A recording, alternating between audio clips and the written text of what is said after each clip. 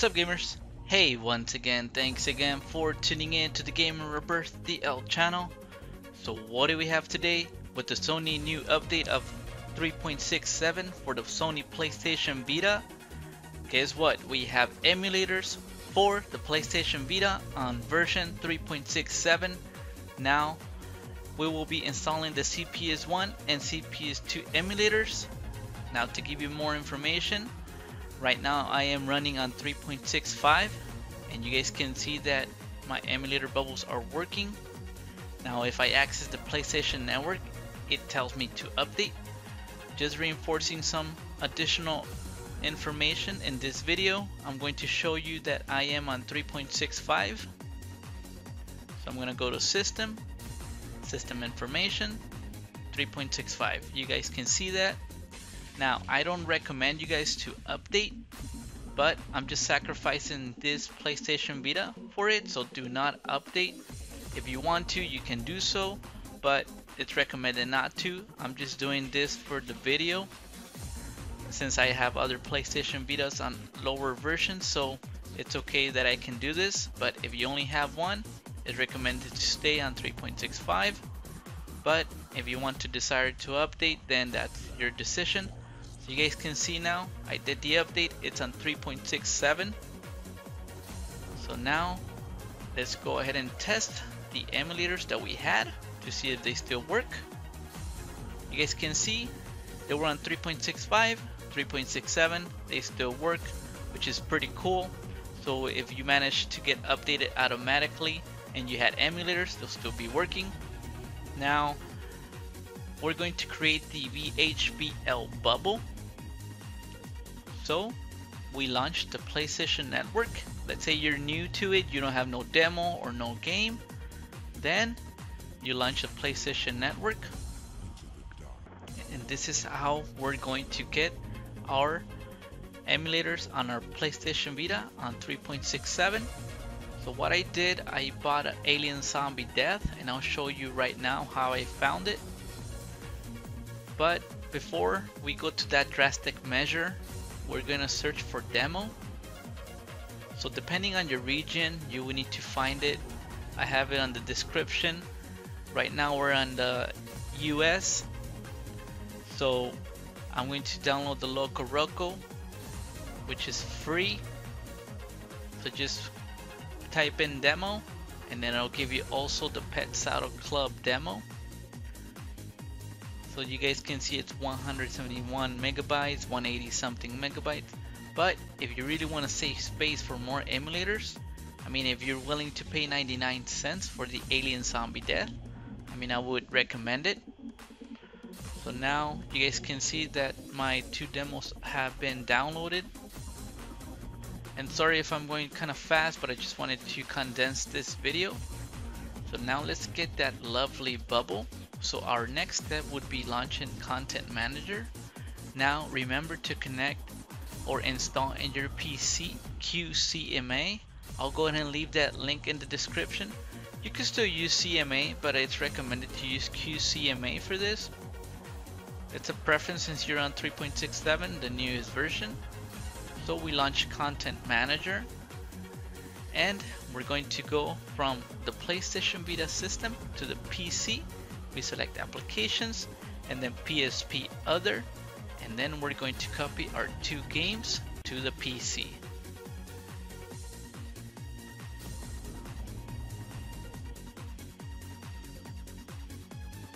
Okay, so we just give it a moment so that we can copy that information. So we're done with copying it. So we go to the PC. You guys will see I have two emulator files. I'll go ahead and leave this in my Twitter page. I'll try to leave it in the description. So remember to include your ROMs, your cache. so you guys can see I have some ROMs in there and the cache as well. Okay, so that's what we need as also, remember to follow my Twitter. If you guys want to get up-to-date news, like for instance, Hackinformer did a really good uh, uh, article regarding the 3.67 update. I'll go ahead and leave that link in the description as well. Now, he suggests as well to not update.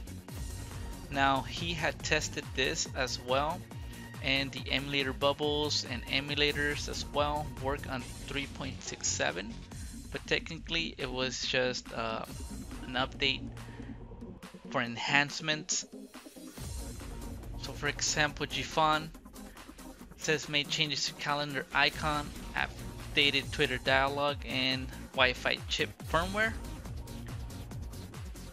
So if you're on 3.60 do not update. If you're on 3.63 do not update. Make sure you do not update. You will lose your hack. Okay so now we will go and get our program that will help us install this. Thanks to our friend SilicaAndPina PSV image tools front end. Now I will be using version 5.2 I tried the newest version but it was not working. It is recommended for you guys to use 5.2 if it doesn't work then use a previous version.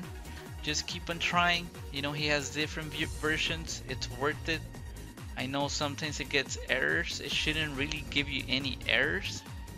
So just keep on trying with different versions. Hopefully you can get that VHBL installed. But the 5.2 worked for me. I know the newest one didn't. So from 5.2 and below try to use some of those.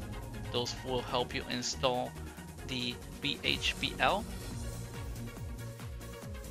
so now we're gonna launch PSV image so it's gonna tell me to update. I don't want to update. And then I'm going to select easy installers. You guys will see when I select that VHBL is in there. Now it's gonna ask you to select your account but before that we will need to add our account. Now I had already added it to try it out but if you don't know how to add it then you can name it however you want to like PlayStation Vita 3.67 I put mine as Gamer Rebirth so in order to get your AID you go to documents PS Vita P game or wherever folder and that random number will be your AID so you can copy and then control V because it won't allow you to paste if you right click and paste. So control V and then just name it. For example I'm gonna name it gamers 3.67 number 2 because it's my second profile just did this as a dummy or as a test. So you guys can see but since I had already entered it I'm gonna use the gamers point I'm gonna use the gamers 3.67 So that's how you add your account or AID to the PSV image tools. Now as well go to the save data folder, select your profile, and then we're going to drag the emulators in there. Now these are ready just for you to drag or copy and your save data. and also once you drag them in there refresh your database also when you transfer the games to the PC refresh your database always try to refresh your database once you make movements within those folders so that your PlayStation Vita can detect them and your PC as well so now technically we're ready we launch PSV image tools we select easy installers VHBL select install and then gamers 3.67 or your profile. Now you select the game that you backed up from your PlayStation Vita to the PC. In this case I'm gonna put Pet Saddle Club. And you guys can see in the background it's gonna do its magic and then you're gonna get an alert VHBL backup has been created which is awesome. So now we close all that. Thank you Silica for working in the front end of the PSV image tools. You're amazing, dude. Shout out to you. I'll go ahead and leave his link in the description. You guys want to donate to him. So we launched Content Manager through our PlayStation Vita. And then we're going to go from PC to the PlayStation Vita system. Select applications, PSP other. Then we're to select our Loco Roco demo and then also we're gonna do the VHBL sorry I know I had said the Pet Saddle Club I did it twice So either or is the same process. Sorry for the confusion, but just do it. You guys will see once you copy the VHBL save data as well. And the pets, the LocoRoco or Pet Saddle Club, whichever you use to install the VHBL, then you should be fine. Also remember to copy your save data. So you go to save data and then copy those emulators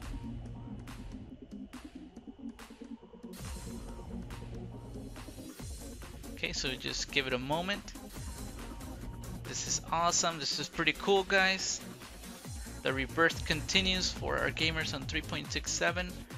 So now let's test out our LocoRoco.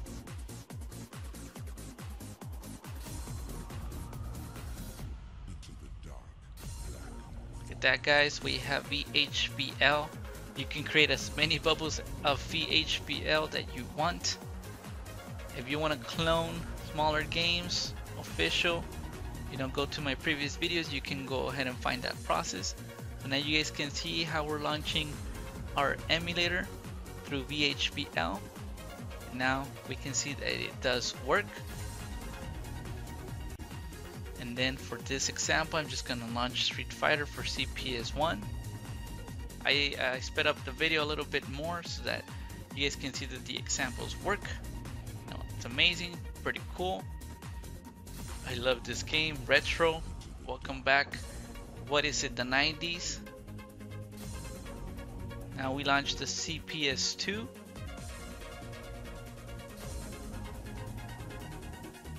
So there we have it. Now remember these are ad hoc. So if you have a friend that has another PlayStation Vita, you want to do this and share with your friends, it's cool. You know, you guys can fight each other, create a tournament, competition, you guys can see X-Men versus Street Fighter launches. Pretty cool.